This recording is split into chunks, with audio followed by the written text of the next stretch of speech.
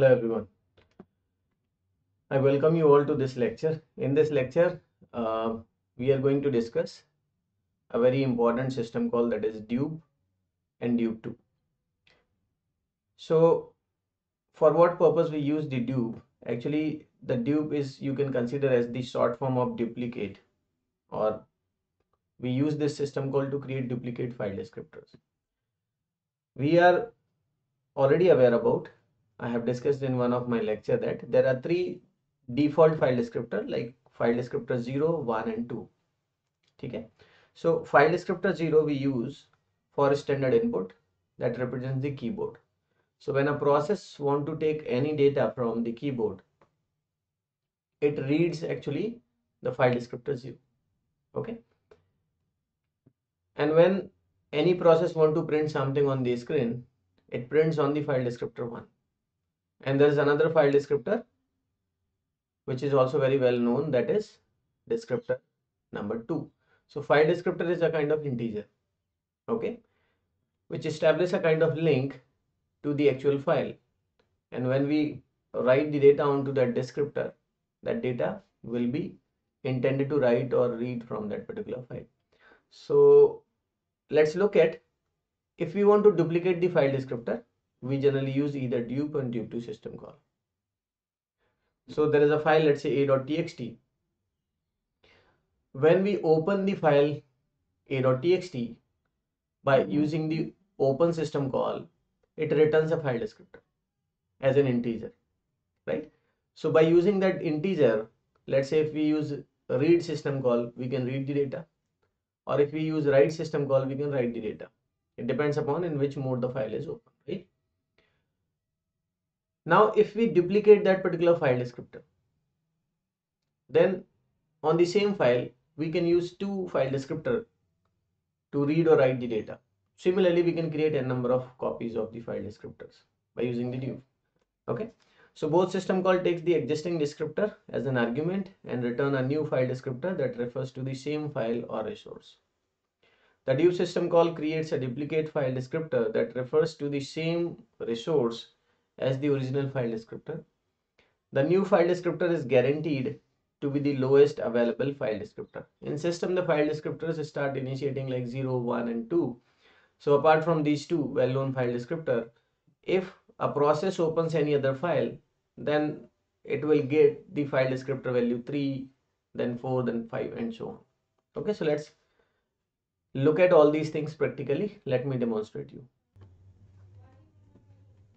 So let's check it.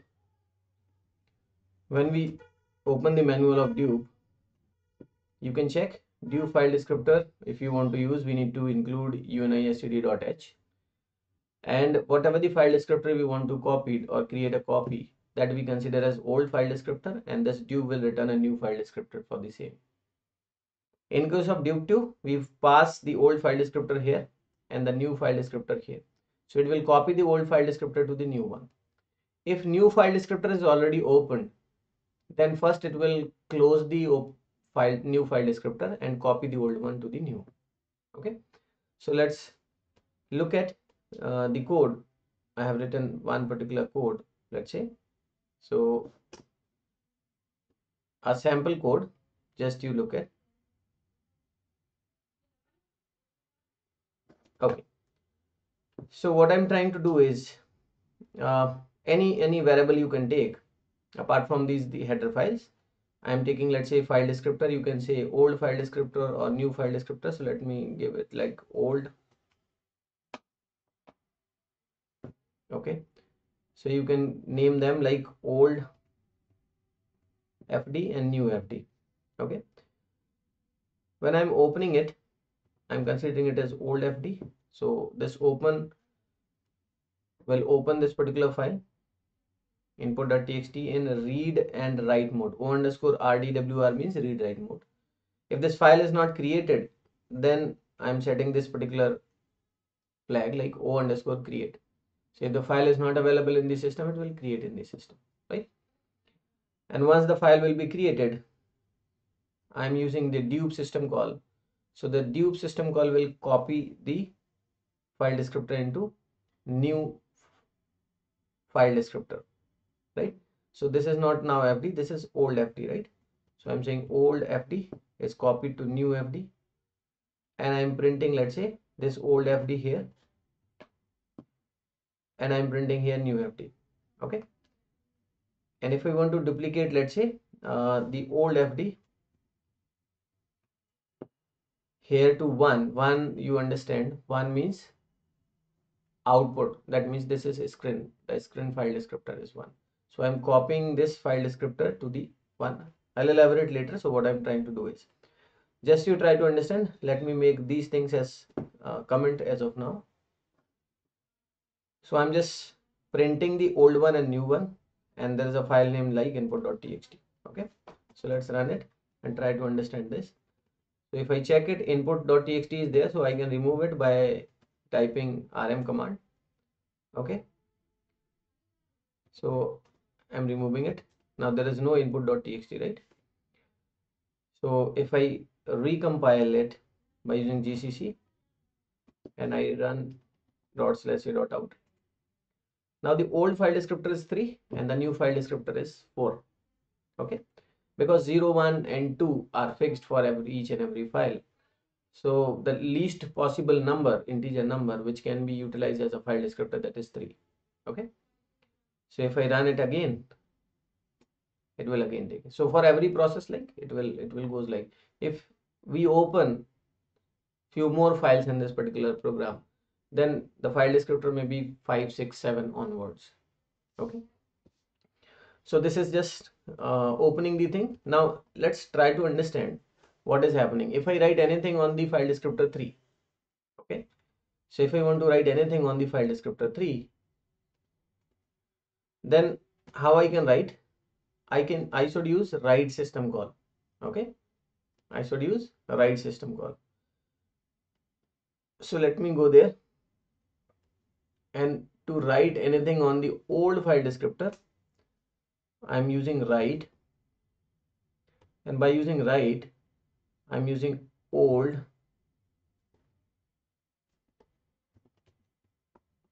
FD and I'm writing let's say? Hello. Okay. Or I'm write return to old FD okay.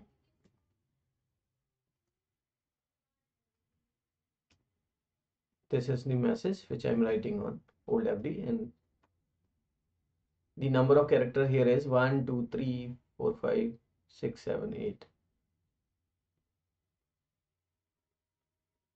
18 let's say so you can use 18 or 19 whatever you want okay so when we are writing it the old file descriptor is representing a file that is input.txt which is open in read and write mode so I can read or I can write it also so I, if I run it, this, this particular line will be written inside the file. So let's test it first. If you compile it, and if you run it again, now if you check uh, the input file, return to old FD data is written inside the file. Okay. But let's say if you write something on the new file descriptor also. So after writing this particular thing if I write by using write system call if I write something on new underscore fd so I'm saying let's say return to new fd okay? Just to check this line I have written on new fd let's say again I'm taking 18 characters here okay? Now if you check it because that descriptor 3 has been copied to descriptor 4 old has been copied to let's say 3 uh, 3 has been copied to 4 then whatever you write on 3 it will be written on the same file as well as if you write anything. Okay?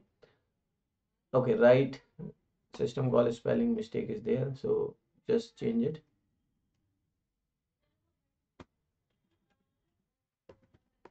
Okay? Now if you run it and and if you check the input.txt file there are two lines has been written written to old file descriptor and new file descriptor.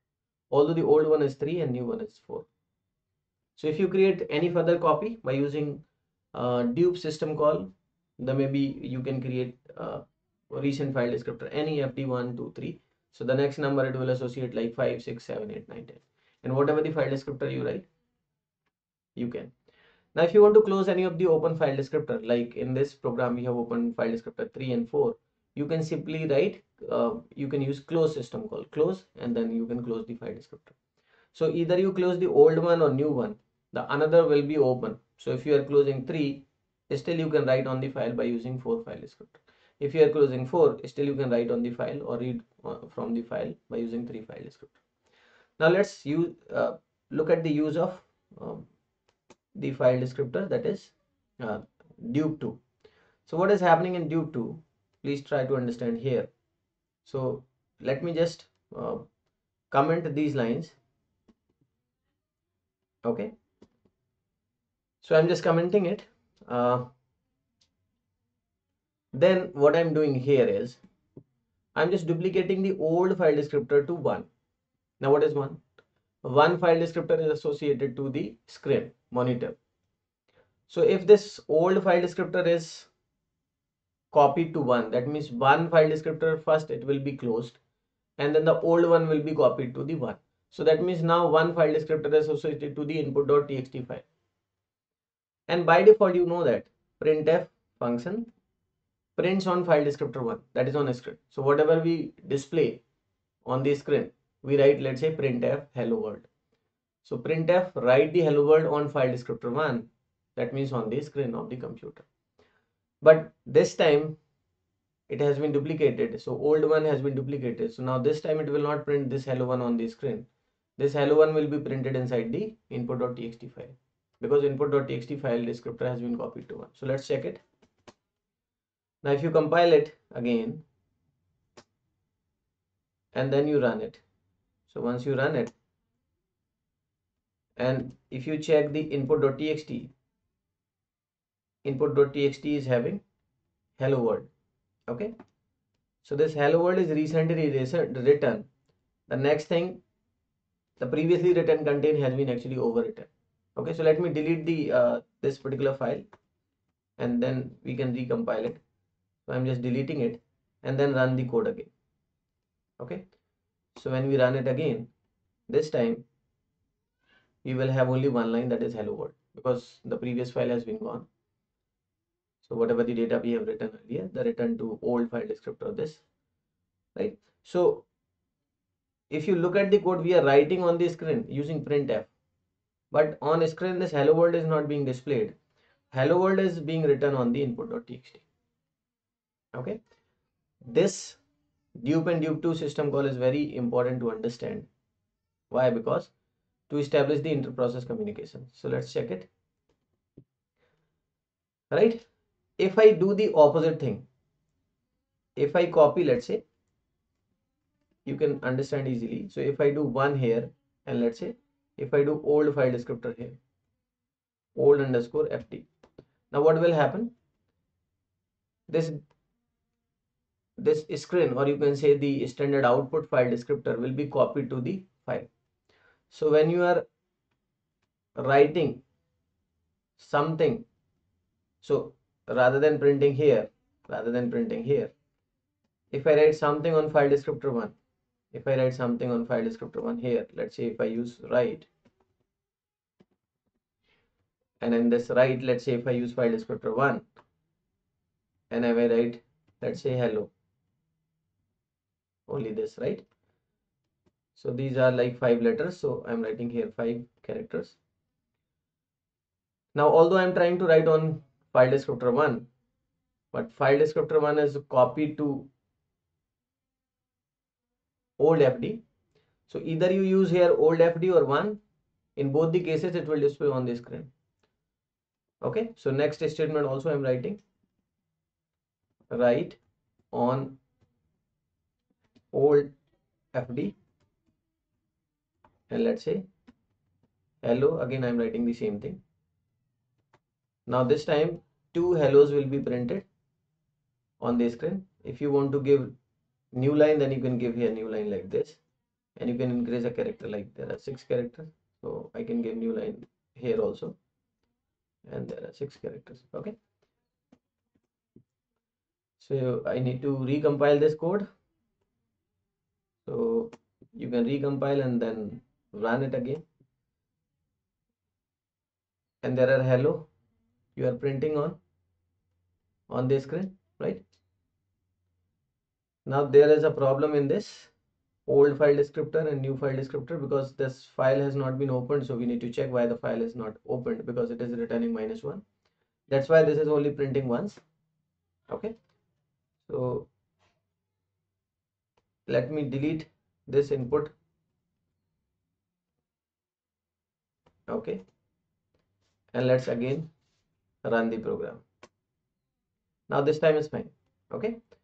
So the new file has been created and you know that why it is returning 3 and 4 but this hello we were printing on file descriptor 1 another hello we were printing on old file descriptor. But both the hellos are coming on the screen so if you check the content of the input file there will be nothing you find out. So if you if i check there's nothing actually blank right? So this is the use of dup and dup 2 uh, what kind of question will be asked in your end term practical? Uh, let let me demonstrate you few of the questions i'm giving you in the file or i'll solve few of the questions. So let's say if i if i give you a sample of the question what can be asked in this let's say if i give you the program let me give you an example. So i'm creating a sample etp question file okay? So if i want to create it i can use let's say touch command or gedit we can use. So let's say i'm using touch or vi